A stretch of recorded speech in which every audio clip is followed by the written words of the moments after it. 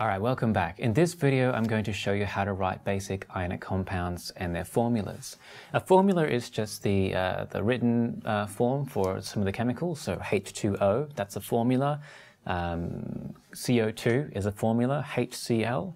There are formulas for ionic compounds, and we're going to focus on the most basic kinds, and these are called binary ionic compounds. And binary means two, so very simple ionic compounds. One metal cation and one singular um, anion, uh, which is just one atom. Uh, sometimes you can get more than one kind, uh, more of them bunched together, but we're just going to focus on the simplest ones with one metal and one non-metal put together.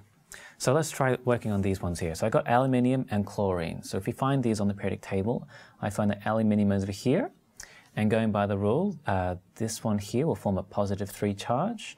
Uh, I'll just fill in the blanks also with the uh, non-metals here. So the nitrogen here forms a, a negative 3 charge, oxygen is a negative 2 charge, fluorine is a negative 1 charge, and the noble gases have a 0 charge because they've already got their uh, full set of electrons, so they're not going to steal or donate any of their electrons to achieve anything better because they've already won, they've already got their uh, full set of electrons on their outer shell. Oh, and also on this side here, we've got positive 1 for group 1, and we've got positive 2 for group 2.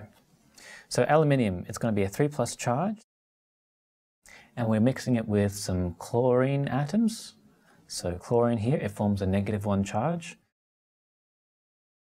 This thing here has to combine together such that the net product is neutrally charged overall. So if we just do the sum right now, 3 take away 1, we've still got some positives left over. We need to deal with this such that the whole compound is neutral. And the way we can do this is we can multiply up or down some of these ions. So I could have more of these chloride, uh, more of these chloride ions to balance out the aluminium's positive charge. So I need about three of them. Three negatives should balance out those three positive charges. And that's what we get for our final formula. So when we write the final uh, thing, uh, we don't write the charges on top because the charges have been balanced. And so that's, that's our final written answer for the formula for a combination of aluminium and chlorine atoms. Let's go to the next example. We've got barium and oxygen. So if we go looking for barium, barium lives over here in the periodic table. Oxygen lives over here. So uh, barium lives in group 2, so it forms a positive 2 charge. And oxygen over here forms a 2 negative charge. And let's take a look. Well, it looks like the charges are already balanced. Two negatives balances two positives. So there's nothing more that we need to do with it. We just simply write it as BaO, barium oxide. Let's do the next one. So we've got sodium and sulfur. So let's go looking for those elements on the table.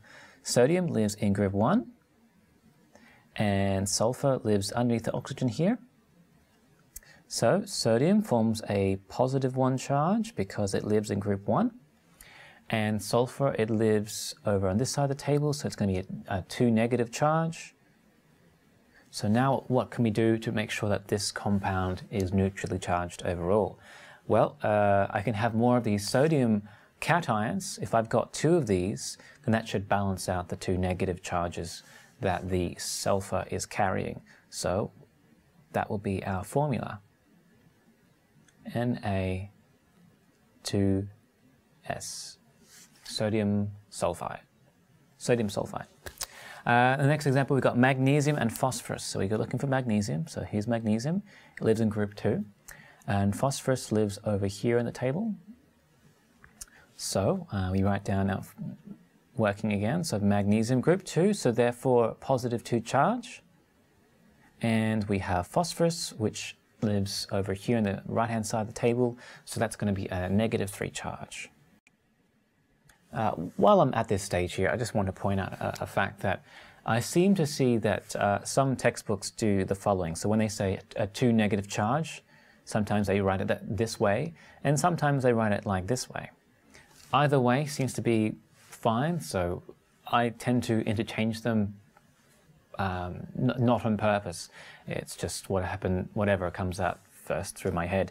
Um, so either way is fine. So if you're getting confused if I write the sign, negative sign first or afterwards, don't worry about it. They both mean exactly the same thing. So if I just erase that. Okay, so let's have a look. We got uh, magnesium 2 plus, phosphorus 3 minus. It's not quite balanced overall, so we need to do something. And this is when we have to apply a special rule. I mean, you can do a bit of um, trial and error, but it is a little bit more complicated than the previous examples. I think you'll agree with me. And one trick we can do is we can do what we call the crossover rule.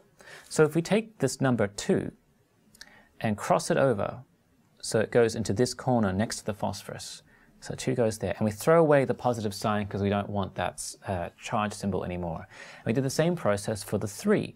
So that 3 goes over here, we forget about the negative sign, and what do we get? So we rewrite this again, magnesium, and there's a 3 next to it, um, and the phosphorus has a 2 next to it. 2 next to it. So that's the result that we get. Now let's check if this balances out. In the final, we got uh, three magnesium uh, cations, and each one of them is carrying a 2 positive charge, so 3 times 2 positives gives me a, a 6 positive overall. Uh, we've got two of these uh, phosphide ions, uh, and each of them has got a 3 negative charge, so um, 2 times 3 negative, that's 6 minus, so that balances out. So that trick works very well for when you get situations where it's not immediately obvious uh, what the ratios will be for the cation to anion, uh, the magnesium to the phosphide. It'll be um, very useful for situations like that. And it's usually for situations when you've got uh, two, a 2 plus and a 3 minus, or a 3 plus and a 2 minus. Uh, that tends to be the case where you would apply it. Otherwise, you could just use the regular method that I've just been using in the couple examples above. All right, let's go to the other way around. So let's start with the formula and write the name. So here we got um, K, which is uh, potassium. Oh, hang on, I've just got to enable my layer here. K is for potassium, and Cl is for um, the chlorine atom. In this case, it's an ion, so we call it chloride. And we just write the following, so potassium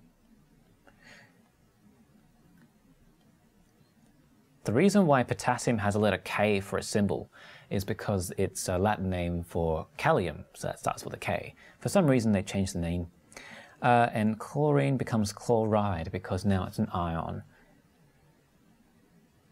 And if you uh, if you don't know, uh, if you're not familiar with that rule where the uh, ending of the name changes, check out my uh, previous video on how to recognize and also name uh, basic ions. That, that should take you through um, how the name changes. Let's do the next example. We've got AG. AG is for argentum, which is silver.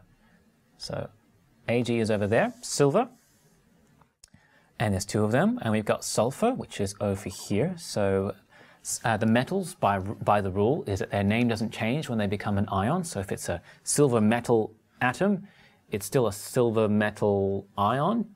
So we just say silver. Uh, so we can write the same thing there. Silver.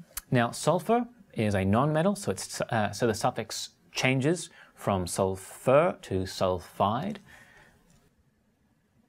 And uh, when it comes to ionic compounds, you don't need to do any special um, uh, prefixes because there's a 2 in there.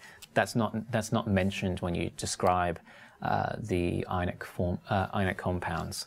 You'll only do those things for um, covalent molecules, things like carbon dioxide. Can you see how there's a prefix for that? Dioxide implying there's two oxygens on there. Um, and you've got other situations as well.